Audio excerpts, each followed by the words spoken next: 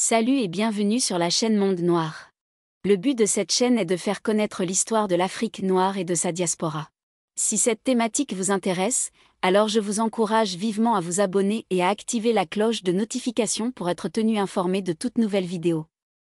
L'histoire que nous allons voir aujourd'hui est celle de Sarah Forbes Bonetta, une femme noble nigériane d'ethnie Yoruba, dont on se souvient surtout pour être devenue la filleule de la reine Victoria du Royaume-Uni et pour avoir été l'épouse d'un grand homme d'affaires africain. On commence.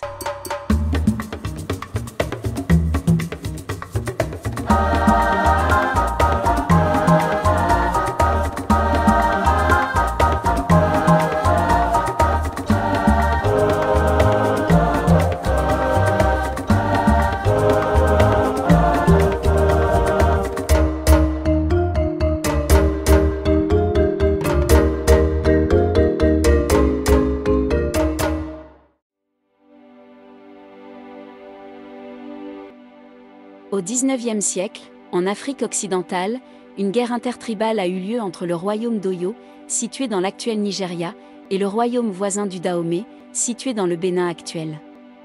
À cette époque, le royaume du Dahomey payait chaque année des tribus annuelles au royaume d'Oyo en signe de soumission. Les guerres entre les deux royaumes ont débuté en 1823 après que Gezo, le nouveau roi du Dahomey, ait refusé de payer les tribus annuelles au royaume d'Oyo. Pendant cette guerre, le royaume d'Oyo fut affaibli et déstabilisé par les soldats du Dahomey en pleine expansion. La désintégration de l'empire d'Oyo a commencé dans les années 1830, fragmentant le territoire yoruba en plusieurs petits États. L'armée dahoméenne a commencé à se déployer vers l'est dans l'ancien territoire Egbado, une tribu yoruba, capturant au passage des esclaves. En 1848, le village Okeodan, fief de la tribu des Egbado, est envahi par l'armée du Dahomey. C'est dans ce village, qu'en 1843, Sarah Force Bonetta a vu le jour. De son vrai nom Omoba Aina, elle était issue d'une famille de lignée royale Yoruba. Devenue orpheline à l'âge de 5 ans lors de la guerre qui opposa le royaume d'Oyo à celui du Dahomey, elle finit à la cour du roi Dahomey Ngezo où elle fut maintenue en captivité. Selon certaines théories, elle était destinée soit à être sacrifiée, soit à être présentée à un visiteur important. En 1850, alors qu'elle avait environ 8 ans, elle fut présentée à un émissaire du gouvernement britannique au nom de Frederick Edwin Forbes, qui était un capitaine de la Royal Navy, en visite dans le royaume dahoméen. La jeune fille Aina fut emmenée par le capitaine Forbes pour son voyage retour en Grande-Bretagne et fut présentée à la reine Victoria. Elle a été renommée Sarah Forbes Bonetta, nom qu'elle a reçu du capitaine Forbes ainsi que de son navire le Bonetta. En Angleterre, elle vit dans un premier temps avec la famille du capitaine Forbes. Elle est ensuite emmenée au château de Windsor et reçue par la reine Victoria et le prince Albert. Elle fut renommée Sally par la reine Victoria. Impressionnée par l'intelligence exceptionnelle de la jeune Aïna, la reine décide de prendre son éducation en charge. En plus d'être intelligente, elle était aussi talentueuse en musique, en art et en littérature. En 1851, Sarah développa une toux chronique, attribuée au climat de la Grande-Bretagne. Elle fut, par conséquent, envoyée à l'école à Freetown, en Sierra Leone en mai de la même année alors qu'elle avait 8 ans. Son nom n'apparaît que sous le nom de Sally Bonetta dans le registre de l'école. Après 4 ans, Sarah retourne en Angleterre à l'âge de 12 ans et fut confiée aux soins du révérend Frédéric Skeon et de sa femme. Avec eux, elle vit pendant 6 ans avant de déménager à Brighton pour son introduction dans la société britannique. En janvier 1862, elle est invitée et assiste au mariage de la princesse Alice, fille de la reine Victoria. À l'âge de 19 ans, elle se marie à l'homme d'affaires nigérian James Pinson Labulo Davis, d'origine yoruba, à l'église Saint-Nicolas de Brighton. En raison du statut de Sarah en tant que protégée de la reine, le mariage fut une affaire somptueuse.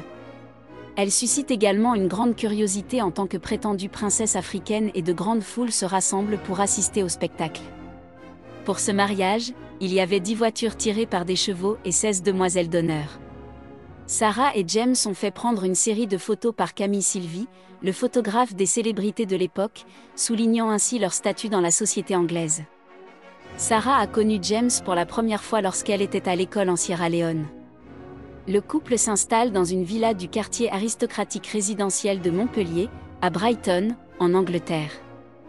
Malgré les prénoms reçus après son arrivée en Grande-Bretagne, sur son certificat de mariage, Sarah a indiqué que son prénom était Ina, peut-être une variante de son nom africain Aina. Après leur mariage, comme les affaires de James Davis se déroulaient en Afrique, le couple est retourné vivre en Afrique. D'abord en Sierra Leone, puis à Lagos où ils ont eu trois enfants, Victoria Davis en 1863, Arthur Davis en 1871 et Stella Davis en 1873. Ils ont appelé leur première fille Victoria, en l'honneur de la reine. Après le retour en Afrique, Sarah Forbes Bonetta a continué à entretenir une relation étroite avec la reine. Tout au long de sa vie, Sarah a souffert d'une toux persistante, causée par le changement strict de climat entre l'Afrique et la Grande-Bretagne. En 1880, atteinte de tuberculose, elle part en convalescence à Madère, au large de la côte ouest de l'Afrique. Malheureusement, elle meurt à l'âge de 37 ans, dans la ville de Funchal, capitale de l'île de Madère, une île portugaise de l'océan Atlantique. La fille de Sarah, Victoria Davis, alors âgée de 17 ans, apprit la nouvelle de la mort de sa mère alors qu'elle se rendait à Osborne pour rendre visite à la reine. Elle est inhumée au cimetière britannique de Funchal, près de l'église anglicane Holy Trinity.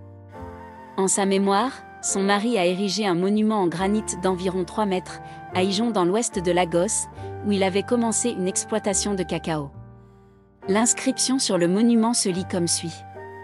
À la mémoire de la princesse Sarah Forbes Bonetta épouse de l'honorable James Pinson Labulo Davis qui a quitté cette vie à Madère le 15 août 1880, à l'âge de 37 ans. D'une enfance traumatisante à une jeunesse privilégiée, l'histoire de Sarah Forbes Bonetta a été extraordinaire et n'était pas typique des femmes noires vivant dans la Grande-Bretagne victorienne. Nous sommes pratiquement à la fin de cette vidéo et j'espère qu'elle vous a plu. Si c'est le cas, n'hésitez surtout pas à le faire savoir en commentaire. N'oubliez pas aussi de liker et de partager. Merci et au revoir.